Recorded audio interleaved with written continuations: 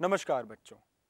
आज हम आपके सामने व्यवसायिक अध्ययन की दूसरी पुस्तक का तीसरा अध्याय लेकर आए हैं।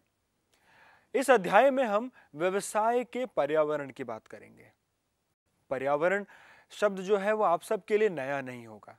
पर्यावरण का अर्थ होता है हमारे आसपास का माहौल या वातावरण। इसी प्रकार जब एक व्यवसाय किसी स्थान, क्षेत्र या समुदाय के बीच अपनी स्थापना करता है, वो वहाँ अपना व्यवसाय चलाता है। तो उसके आसपास का जो माहौल होता है, उसके जो घटक होते हैं, वो उसका पर्यावरण बनाते हैं। हम कह सकते हैं कि व्यवसायिक पर्यावरण का अर्थ है, वो सभी व्यक्ति, संस्थान या अन्य शक्तियाँ, जो एक व्यवसायिक उद्यम से बाहर उसके आसपास हैं, लेकिन वो उस व्यवसाय के परिचालन में महत्वपूर्ण भूमिका निभाते हैं।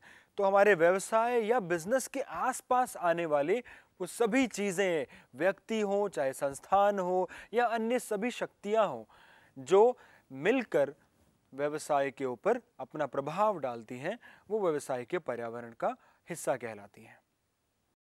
बच्चों, यह अध्याय बहुत ही रोचक व महत्वपूर्ण अध्याय है। आप इसके सभी भागों को ध्यान से देखें, सुने व पढ़ें, आपको मज़ा भी आएगा व काफ़ी कुछ सीखने को भी मिलेगा। व्यवसायिक पर्यावरण में जब आगे बढ़ते हुए अगर इसकी बात करें तो हम बहुत सरल शब्दों में अगर देखें तो इसका अर्थ हुआ वो सभी चीज़ें जो एक व्यवसाय पर प्रभाव डालती हैं, लेकिन ये व्यवसाय के बाहर होनी चाहिए।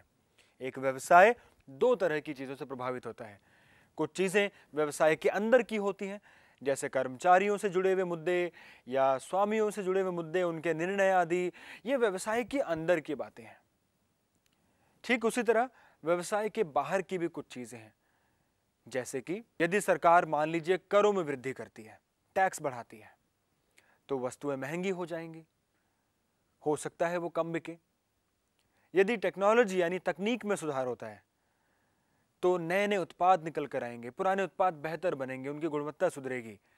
तो हो सकता है वो ज़्यादा बिके, व्यवसाय को ज़्यादा लाभ प्राप्त हो।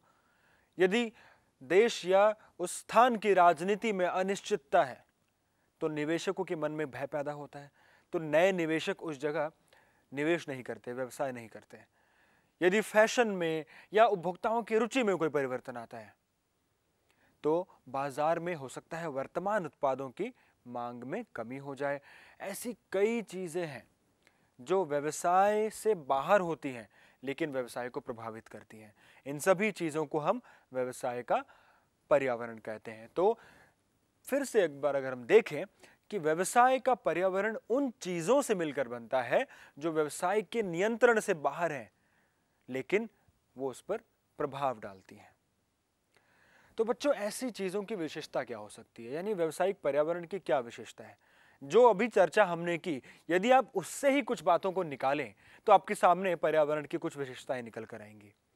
जैसे सबसे पहली बात जो बार बार निकल कर आ रही है, वो यह है कि व्यवसायिक पर्यावरण बाह्य शक्तियों की समग्रता है। यानी व्यवसाय के पर्यावरण में जो भी चीज़ें या घटक आती हैं, वो व्यवसाय से बाहर की होती है और उन सबको मिलाकर ही व्यवसायिक पर्यावरण बनता है।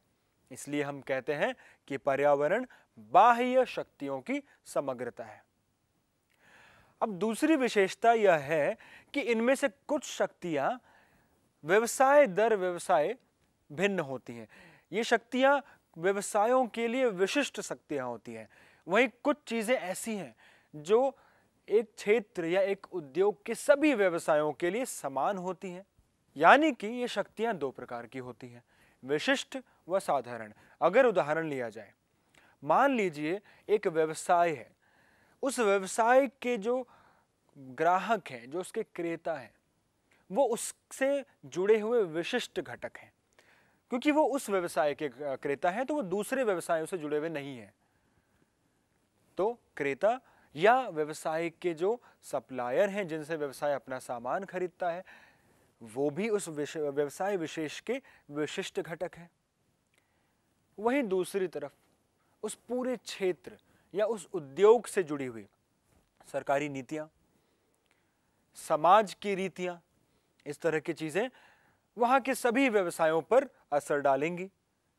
तो वो साधारण शक्तियाँ हो गई। यानी कि ये पर्यावरण की शक्तियाँ कुछ विशिष्ट होती हैं जो हर व्यवसाय की अपनी जुड़ी हुई शक्तियाँ होती हैं, जबकि कुछ साधारण शक्तियाँ होती हैं जो सभी प्रकार के व्यवसायों को प्रभावित करती हैं। तीसरी विशेषता यह है कि इन शक्तियों में, इन सभी चीज़ों में आंतरिक संबंध होता है। ये सभी चीज़ें, जितनी भी चीज़ें पर्यावरण के अंदर आएँगी, वो सब आपस में जुड़ी हुई होती हैं। मान लेते हैं बच्चों कि हमारे समाज में ऐसा परिवर्तन आया, जिसके कारण लोग अपने स्वास्थ्य के प्रति बड़े सजग हो गए। लोग स्वास्थ्य के प्रति सजग हुए। तो जो स्वास्थ्य से जुड़ी हुई खाने पीने की चीज़ें जो अच्छे स्वास्थ्य को बढ़ावा देती है, जैसे हेल्थ ड्रिंक्स हो गए, इनकी मांग बढ़ेगी। इनकी मांग बढ़ेगी तो इनको बनाने वाले उद्योगों की बिक्री बढ़ेगी। उनकी आय बढ़ेगी, उसमें काम करने वाले लोगों की आय बढ़ेगी। लोगों की आय बढ़ेगी तो लोग और पैसा खर्च करेंगे तो अन्य व्यवसायों के उत्पादों की मांग भी बढ़ सकती है।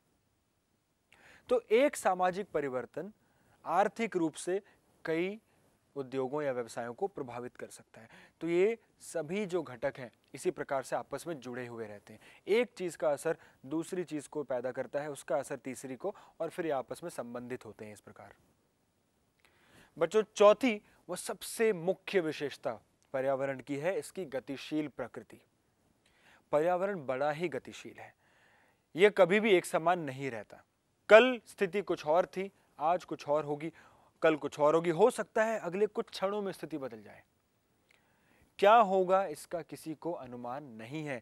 हमारे पर्यावरण में किसी भी प्रकार का परिवर्तन आ सकता है। इसके कई उदाहरण आपके सामने होंगे। सन 2016 में जब भारत सरकार ने डीमोनेटाइजेशन, यानी विमुद्रीकरण की नीति को लेकर आई तो उससे कुछ क्षण पहले तक लोगों को नहीं पता था, व्यवसायों को नहीं पता था कि कितना बड़ा परिवर्तन आगे होने वाला है। इसके कारण सभी व्यवसायों को, लोगों को भी अपने लेन देन की प्रवृत्ति में काफ़ी परिवर्तन करने पड़े। इसके पश्चात 2017 में जब जीएसटी लागू किया गया, तब भी व्यवसायों को अपने अंदर काफ़ी परिवर्तन करने पड़े। हर साल, हर दिन, हर महीने कभी, कई बार परिवर्तन होते हैं। तकनीकी परिवर्तन, राजनीतिक परिवर्तन, नीतिगत परिवर्तन।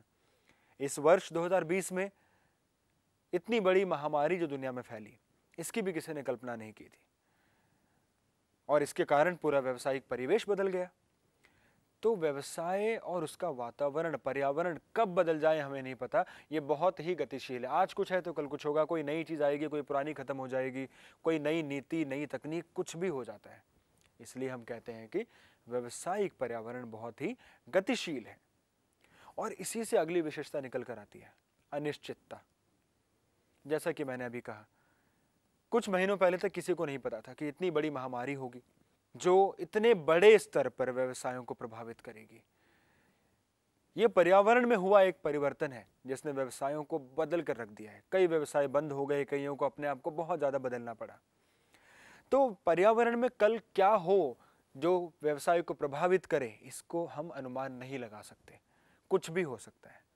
इसलिए व्यवसायिक पर्यावरण को अनिश्चित माना जाता है। आखिरी विशेषता है जटिलता। अभी हमने कुछ देर पहले बात की कि व्यवसायिक पर्यावरण के घटक आपस में बहुत ज़्यादा संबंधित या जुड़े हुए होते हैं। क्योंकि ये सब आपस में इतना जुड़े हुए हैं और इतना ज़्यादा ये प्रभावित करते हैं लोगों को, व्यवसायों आदि को, कि इनको समझना, इनके लिए तैयारी कर पाना बहुत ही जटिल कार्य हो जाता है। सभी चीज़ें आपस में बहुत ज़्यादा उलझी जुड़ी हुई हैं, एक दूसरे में मिश्रित हैं, जिसकी वजह से व्यवसायों को, इनको समझना बड़ा मुश्किल जान पड़ता है। इसलिए हम कहते हैं कि व्यावसायिक पर्यावरण बहुत ही जटिल चीज़ है। ये सारी विशेषताएँ हमने पर्यावरण की देखी। इनसे आप इतना तो समझ गए होंगे कि पर्यावरण व्यवसायों को बहुत ज़्यादा प्रभावित करता है। और पल पल इसका प्रभाव व्यवसाय महसूस करते हैं। ऐसे में पर्यावरण की जानकारी व समझ होना बहुत महत्वपूर्ण हो जाता है। तो आइए अब बात करते हैं कि क्यों ज़रूरी है व्यवसायिक पर्यावरण को समझना? आप क्यों इसे पढ़ रहे हैं? आप व्यवसायिक अध्ययन के छात्र छात्राएँ हैं। यदि आप इस विषय को समझना चाहते हैं, आगे जाकर यदि आप व्यवसाय के क्षेत्र में कुछ करना चाहते हैं तो आपके लिए भी यह बहुत अनिवार्य होगा। कि आप अपने व्यवसाय, अपने उद्योग के पर्यावरण को समझें। पर क्यों? क्यों ज़रूरी है इसको समझना? बट जो सबसे पहली बात तो यह है कि जिन व्यवसायों या जिन प्रबंधकों को अपने पर्यावरण की समझ होती है, वो अपने व्यवसाय के लिए संभावनाएँ या अवसर जल्दी पहचान पाते हैं। इसीलिए पहला महत्व हमारा यही है कि अवसरों की पहचान, व्यवसायिक पर्यावरण हमें अवसरों की पहचान देता है। और अवसरों की पहचान अगर हम कर पाते हैं तो हम उनका फ़ायदा उठाकर पहल करके एक पहल के लाभ को प्राप्त कर सकते हैं। जिसे हम कॉमन भाषा में फ़र्स्ट मूवर एडवांटेज कहते हैं। जो किसी अच्छे काम को पहले कर जाए, उसे उसका लाभ प्राप्त होता है।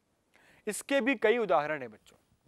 वर्ष 2016 में जब विमुद्रीकरण या डीमोनेटाइजेशन की नीति आई तो कुछ कंपनियाँ थीं जिन्होंने इससे जुड़े हुए अवसर को पहचाना।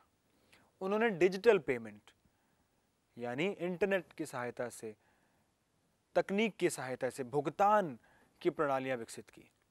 ऐसी कई कंपनियाँ हैं जिनके ऐप आप सब यूज़ करते हैं, सभी इनका उपयोग करते हैं।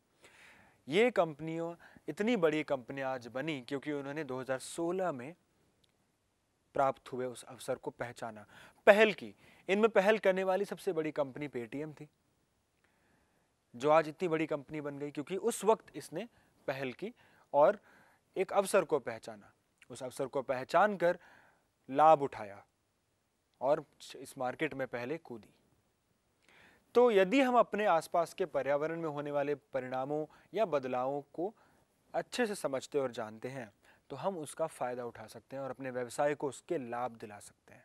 लेकिन वहीं इसका दूसरा महत्व यह है कि जहाँ एक तरफ़ हमें अवसर पहचानने में मिलते हैं, वहीं दूसरी तरफ़ पर्यावरण की समझ हमें खतरे की पहचान भी करवाते हैं। यदि कोई ऐसा परिवर्तन होने वाला है जिसके कारण हमारे व्यवसाय को खतरा है तो यदि हम निरंतर पर्यावरण को पढ़ रहे हैं, उसको समझ रहे हैं तो हम उस खतरे को पहले से पहचान जाएँगे और चेतावनी की तरह लेंगे और उसके लिए हम तैयारी कर सकते हैं। यदि हमें लगता है कि कोई तकनीक बदलने वाली है, हमें लगता है कि समाज में लोगों के रुचि या फ़ैशन में कोई परिवर्तन आने वाला है तो हम अपने उत्पादों को उसके अनुरूप पहले से ढाल सकते हैं, ताकि इससे पहले कि दूसरी कंपनी या दूसरे व्यवसाय हमसे आगे निकलें, हम उसके लिए तैयार रहें और हम आने वाले खतरे या बदलावों से खुद को बचा सकें, उनका सामना कर सकें। तीसरा महत्व, उपयोगी संसाधनों का दोहन। बच्चों, व्यवसाय पर्यावरण से कई साधन प्राप्त करता है। उत्पादन के जितने भी साधन हैं, वो हमें अपने पर्यावरण से ही प्राप्त होते हैं। लेकिन हमारे पर्यावरण में, हमारे समाज में किस प्रकार के साधन हैं, किस प्रकार के सुविधाएँ हमारे पास उपलब्ध हैं, यदि हम उनको अच्छे से जानते हैं हम संसाधनों की कमियों को यदि पहचानते हैं तो हम जो भी संसाधन हमारे पास या हमारे पर्यावरण में हैं, उनका सर्वश्रेष्ठ उपयोग कर पाएँगे। हम यह देख पाएँगे कि कौन से संसाधन हमारे पास कम है, कौन से ज़्यादा हैं, कौन से कहाँ से प्राप्त होंगे, उनको कैसे प्राप्त किया जाए, समय पर प्राप्ति करके, बेहतर तरीके से उपयोग करके हम अपने संसाधनों का अच्छे तरीके से दोहन कर पाएँगे। इसके लिए हमें, इसकी समझ होना ज़रूरी है कि हमारे पर्यावरण में किस प्रकार के संसाधन है। अगला महत्व, तीव्रता से हो रहे परिवर्तनों का सामना करना। बच्चों, हमने विशेषताओं में देखा कि पर्यावरण बहुत ही गतिशील है। दिन प्रतिदिन नए नए बदलाव पर्यावरण में होते हैं। उथल पुथल होती है बाज़ार में। कई प्रकार के बदलाव हमें देखने को रोज़ाना मिल जाते हैं। ऐसे में यदि कोई व्यवसाय और उसका प्रबंधन, उसका मैनेजमेंट इन सभी बदलावों से खुद को अपडेटेड रखता है, खुद को इनसे अवगत रखता है।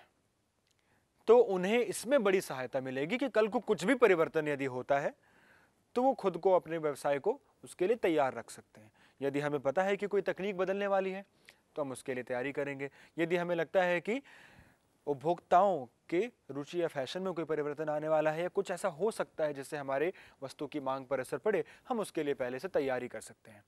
तो हम इन निरंतर बदलते पर्यावरण के घटन घटकों से खुद को तैयार कर सकते हैं, ताकि हमें एक शौक, एक अचानक किसी चीज़ को झेलना ना पड़े, एक शौक ना लगे हमें। चौथा महत्व है नियोजन व नीति निर्धारण में सहायता। बच्चों, जब इतने सारे महत्व हमने देखे कि हमें अवसरों का पता लगता है, हमें चेतावनियों का पता लगता है, हम संसाधनों को ठीक से समझ पाते हैं, हम बदलावों को ठीक से समझ पाते हैं तो जब एक प्रबंधन या मैनेजमेंट इन सब चीज़ों को समझेगा तो उसका जो काम है मैनेजमेंट का काम है डिसीज़न लेना, निर्णय लेना, नीतियाँ बनाना, नियोजन बनाना। तो उस मैनेजमेंट को उस काम में सहायता मिलेगी, क्योंकि कोई भी नियोजन या नीति बनाते वक्त इन सभी बातों पर ध्यान देना ज़रूरी होता है। तो इन सभी बातों का ज्ञान प्रबंधक को या प्रबंधकों को सहायता देगा कि वो उचित नीतियाँ बनाएँ, उचित नियोजन करें। तो हम कह सकते हैं कि पर्यावरण एक दिशा निर्देश प्रदान करता है। मान लीजिए, हमें दिखता है कि हमारे उद्योग में नई फर्में बाज़ार में प्रवेश कर रही हैं। तो यदि हम इसको भाप जाएँ कि नई नई फर्में आ रही हैं तो हम समझेंगे कि प्रतियोगिता बढ़ने वाली है। यदि प्रतियोगिता बढ़ने वाली है तो अब प्रबंधन को नीतियाँ बनानी पड़ेंगी, रणनीतियाँ बनानी पड़ेंगी। बड़ी, बढ़ती प्रतियोगिता या बढ़ने वाली प्रतियोगिता से निपटने की कैसे कोई स्कीम चलाई जाए, कोई डिस्काउंट दिया जाए या अपनी वस्तु की गुणवत्ता को सुधारा जाए, क्या किया जाए कि हम आने वाली इस प्रतियोगिता से निपट सकें? बच्चों, अगला महत्व है निष्पादन में सुधार। निष्पादन अर्थात परफॉर्मेंस यानी एक व्यवसाय किस प्रकार अपना काम कर रहा है, उसके वित्तीय परिणाम व उससे जुड़े हुई बाकी चीज़ें किस प्रकार की आ रही हैं। अब यह तो आप समझ ही गए होंगे कि पर्यावरण को समझने के बहुत से लाभ हैं। और सबसे महत्वपूर्ण यह है कि व्यवसाय को, उसके प्रबंधन को नीतियों के निर्धारण में सहायता मिलती है। अच्छे नियोजन करने में सहायता मिलती है। तो यदि एक व्यवसाय व उसका मैनेजमेंट यानी प्रबंधन अच्छी नीतियाँ बनाता है, अच्छे नियोजन बनाता है और उसका अच्छे से क्रियान्वयन करता है। तो उससे उसका निष्पादन यानी परफॉर्मेंस भी सुधरेगा, बेहतर होगा। वो अच्छा व्यवसाय करेगी अच्छा लाभ कमा सकती है। तो बच्चों, इन चीज़ों को पढ़कर हमें ये पता लगा कि व्यवसाय के लिए कितना अनिवार्य है उसके पर्यावरण को समझना। अब आइए हम भी पर्यावरण को थोड़ा समझते हैं। अभी तक तो हमने यह देखा कि पर्यावरण को समझना अनिवार्य है। लेकिन पर्यावरण है क्या? पर्यावरण के घटक क्या हैं? तो बच्चों, पर्यावरण के घटक या आयाम मुख्यतः पाँच वर्गों में बांटे गए हैं। सामाजिक पर्यावरण, राजनीतिक पर्यावरण, आर्थिक पर्यावरण, तकनीकी पर्यावरण व कानूनी पर्यावरण। ये पाँच प्रकार के पर्यावरण हैं। एक एक करके हम इनको देखते हैं कि इनका क्या अभिप्राय है। बच्चों, सबसे पहला आयाम या घटक है आर्थिक पर्यावरण। आर्थिक पर्यावरण का अर्थ है कि किसी भी जगह, स्थान, देश, राष्ट्र आदि की अर्थव्यवस्था में होने वाले वो सभी परिवर्तन जो एक व्यवसाय को प्रभावित कर सकते हैं। अर्थव्यवस्था से जुड़ी हुई वो सभी चीज़ें, चाहे वो बैंकों के ब्याज दर हो, अर्थव्यवस्था की महँगाई दर हो, आर्थिक नीतियाँ हो, अर्थव्यवस्था की प्रकृति हो लोगों का आय स्तर हो ऐसी कई सारी चीज़ें एक अर्थव्यवस्था में होती हैं जो व्यवसाय को प्रभावित करती हैं। इन चीज़ों को हम उस व्यवसाय का आर्थिक पर्यावरण कहते हैं। उदाहरण के लिए यदि बाज़ार में बैंकों की ऋण दरें कम हो जाएँ, खास करके लंबी अवधि के ऋण की दरें यदि कम हो जाएँ, तो इसका फ़ायदा ऑटोमोबाइल निर्माताओं को मिल सकता है। क्योंकि यदि ऋणों की दरें कम होंगी तो उपभोक्ताओं के लिए घर या कार आदि खरीदने के लिए ऋण लेना आसान हो जाएगा। इससे कार निर्माताओं को या जो कंस्ट्रक्शन किया भवन निर्माण कंपनियाँ हैं, उनको फ़ायदा पहुंचेगा। इसी प्रकार यदि देश का जीडीपी या सकल घरेलू उत्पाद बढ़ता है, उसमें वृद्धि होती है तो लोगों की आय भी बढ़ेगी, खास करके उनकी प्रायोज्य आय, यानी वो आय जिसे वो खर्च करते हैं, वो बढ़ेगी। जब लोग ज़्यादा खर्च करेंगे तो वस्तुओं या उत्पादों की मांग में भी वृद्धि होगी। तो ऐसे कई चर हैं, कई चीज़ें हैं अर्थव्यवस्था की जो अर्थव्यवस्था में, पूरी अर्थव्यवस्था के साथ साथ व्यवसायों पर भी प्रभाव डालती हैं। इनमें से कुछ मुख्य चरें आपके सामने आपके स्क्रीन पर होंगी। एक बार उन पर नज़र डालते हैं। तो बच्चों, जैसा कि आप देख सकते हैं, कुछ ऐसे मुख्य चर इस प्रकार हैं। भुगतान शेष, वो विदेशी मुद्रा में संचय में परिवर्तन, बचत व निवेश की दर आयात निर्यात की दर अर्थव्यवस्था में निजी व सार्वजनिक क्षेत्र की क्या भूमिका है? परिवहन सुविधाओं का विस्तार, संप्रेषण यानी सूचना या संचार सुविधाओं का विस्तार। अर्थव्यवस्था में मुद्रा की क्या आपूर्ति है? तो ऐसे कई मदें होती हैं जो आर्थिक पर्यावरण के पहलुओं की तरह काम करती हैं और वह अर्थव्यवस्था में व्यवसायों को प्रभावित करती हैं। बच्चों, इसके बाद पर्यावरण का दूसरा आयाम है सामाजिक अर्थव्यवस्था। सामाजिक अर्थव्यवस्था में समाज के विभिन्न पहलू चाहे वो समाज के रीति रिवाज हो, समाज में किस प्रकार के लोग हैं, किन धर्मों, किन जातियों, किस तरह की सोच, किस तरह की शिक्षा के स्तर के लोग हैं, किस तरह के त्यौहार मनाए जाते हैं, लोगों की सोच क्या है, लोगों के दिनचर्या में क्या परिवर्तन आ रहा है, इस तरह की चीज़ें समाज या सामाजिक पर्यावरण का हिस्सा होते हैं, जो कि व्यवसाय पर भी असर डालते हैं। उदाहरण के लिए, स्वास्थ्य व फिटनेस आज बड़ी संख्या में शहरी लोगों में लोकप्रिय हो रहे हैं। इसके कारण जैविक खाद्य पदार्थ डाइट पेय पदार्थ जिम मिनरल वाटर इस तरह की कई उत्पाद या सेवाएँ हैं जिनकी मांग बढ़ गई है और ऐसे कई व्यवसायों का काम उनका लाभ भी बढ़ गया है। तो सामाजिक पर्यावरण की मदों में आने वाली मुख्य मदें हमने देखी। आप इसे अपने स्क्रीन पर भी देख सकते हैं। इनमें त्योहार, शिक्षा स्तर, महिलाओं की स्थिति स्वास्थ्य की स्थिति, ऐसे कई मुख्य पहलू आपके सामने इसमें आपको नज़र आएँगे। तो समाज के वो पहलू, जो समाज के साथ साथ व्यवसायों पर प्रभाव डालें, वो सामाजिक पर्यावरण कहलाते हैं। बच्चों, तीसरा आयाम है प्रौद्योगिकीय पर्यावरण। प्रौद्योगिकीय पर्यावरण का अर्थ है विज्ञान व तकनीक में होने वाले परिवर्तन व उनसे जुड़े पहलू। वैज्ञानिक नवीनता, नई खोजें, नई तकनीक का आना तकनीक में सुधार होना, इस तरह की चीज़ें प्रौद्योगिकी पर्यावरण का हिस्सा बनती हैं। चौथा पर्यावरण है, राजनैतिक पर्यावरण।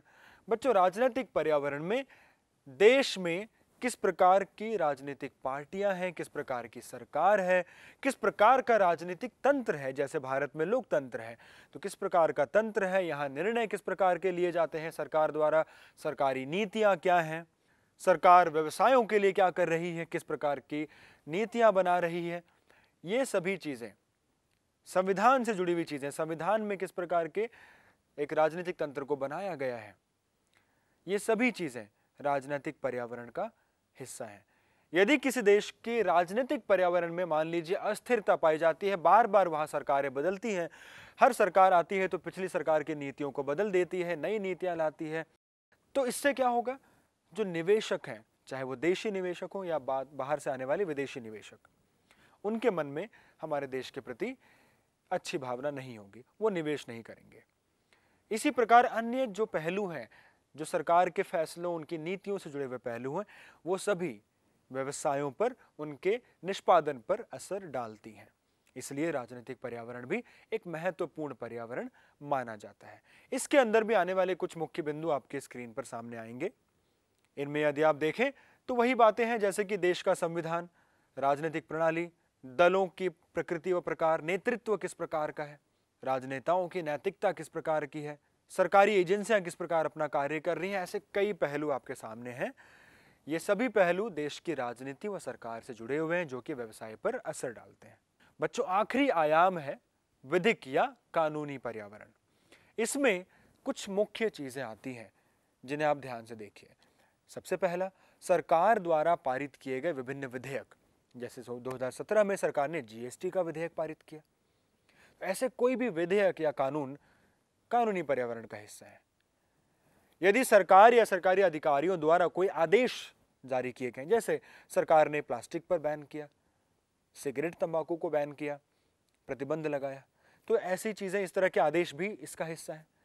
न्यायालयों के फैसले यदि कोर्ट या न्यायालय किसी विषय पर अपना फैसला सुनाते हैं तो उनके फैसले भी कानूनी पर्यावरण का हिस्सा माने जाते हैं। व इसके अलावा केंद्र, राज्य व स्थानीय स्तर पर नियुक्त किए गए विभिन्न कमीशन व एजेंसियाँ यदि कोई निर्णय अपना सुनाती हैं तो वो भी विधिक या कानूनी पर्यावरण का हिस्सा माने जाएँगे। इनमें से कोई भी चीज़ व्यवसाय को प्रभावित कर सकती है तो विधिक पर्यावरण के अंदर कानून या विधेयक, सरकारी आदेश, न्यायालयों के फैसले स्थानीय राजनीतिक या राज्य स्तर पर बनाए गए कमीशन आदि के निर्णय शामिल होते हैं। तो बच्चों, ये हमारे व्यवसायिक पर्यावरण के पाँच मुख्य घटक थे। आज हमने पर्यावरण के महत्व को समझा, उसकी विशेषताओं को जाना, व इन पाँचों घटकों के बारे में समझा। ये पाँच घटक आप अच्छे से पढ़ें, चाहे वो सामाजिक हो, जो समाज के पहलुओं की बात करते हैं। जैसे कि कौन सा त्यौहार है, लोगों की क्या सोच है, लोगों का शैक्षणिक स्तर क्या है चाहे वो आर्थिक पहलुओं की बात हो कि देश में ब्याज दरें क्या है, महँगाई दर क्या है, आय का स्तर क्या है।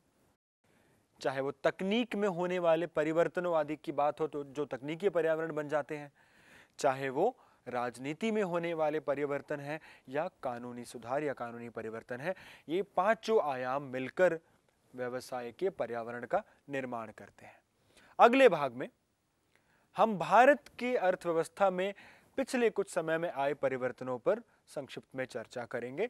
वह देखेंगे कि किस प्रकार पर्यावरण में हुए परिवर्तनों ने भारत में व्यवसायों को प्रभावित किया है। आज के भाग में इतना ही। धन्यवाद।